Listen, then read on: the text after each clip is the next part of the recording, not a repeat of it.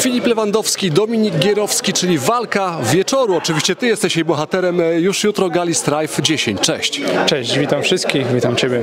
No kawałek masz tutaj do Puław, co z twojej miejscowości, tej rodzinnej?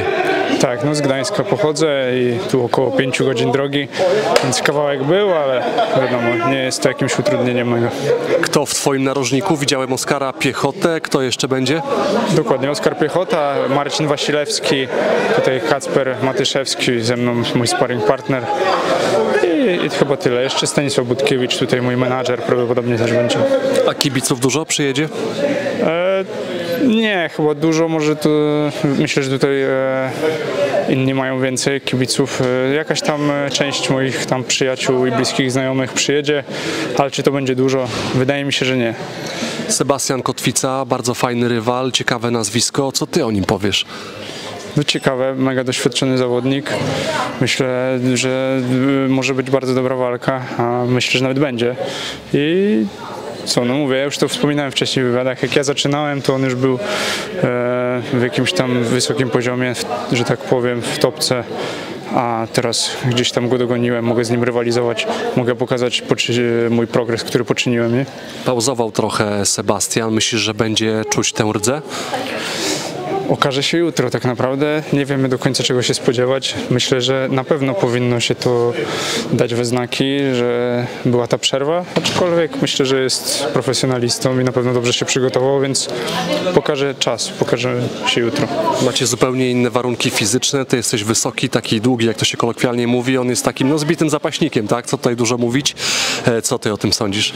Wiesz co, teraz ogólnie jak e, zauważyłem, to chyba większość przeciwników, których miałem, to miałem swojego wzrostu, gdzie jak zaczynałem walczyć, to mi się wydawało, że będę jednym z wyższych. Teraz, e, nie wiem, taka tendencja jest, że chyba większość zawodników jest dosyć wysokich, a chyba generalnie wolałbym takiego niższego. Wydaje mi się, że to powinno mi leżeć, aczkolwiek dokładnie też zobaczymy jutro, jak to się potoczy i, i tyle.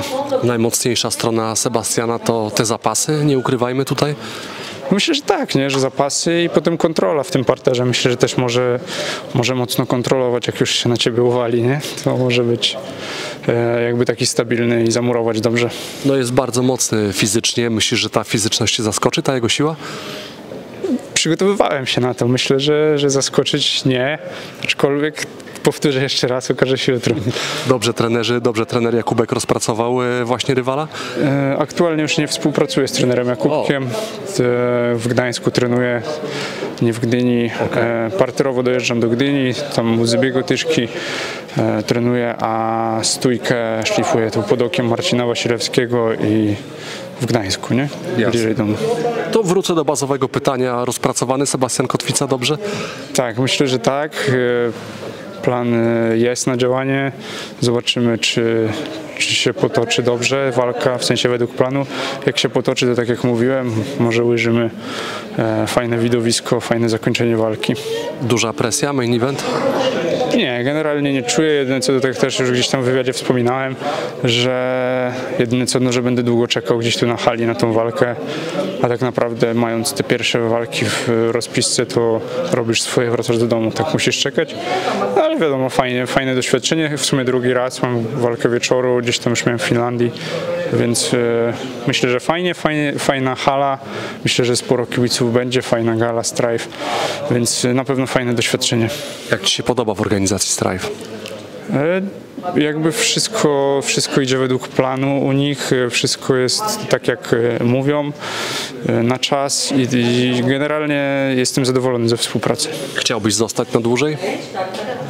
Zobaczymy, zobaczymy co, co się wydarzy po walce, zobaczymy jakie będą tam dalej możliwości, jakie propozycje dalszej walki i będziemy to rozważać. To już na koniec, bo jesteśmy po ważeniu. Waga za nami. Jak rozumiem, gładko ci schodziła. Tak, generalnie dosyć dobrze. Tutaj mieliśmy ten catchweight 2 kg więcej, więc e, myślę, że te, te jedne z cięższych kilogramów, te dwa na koniec, to już robi robotę. Tu do tych 68 jakoś to zeszło w miarę gładko. Ładowanie tak samo gładko wróciło, gdzieś tam te kilogramy wróciły, więc e, raczej jestem zadowolony. Nie znam tu historii, kto poprosił o catchweight. E, Sebastian. Okej.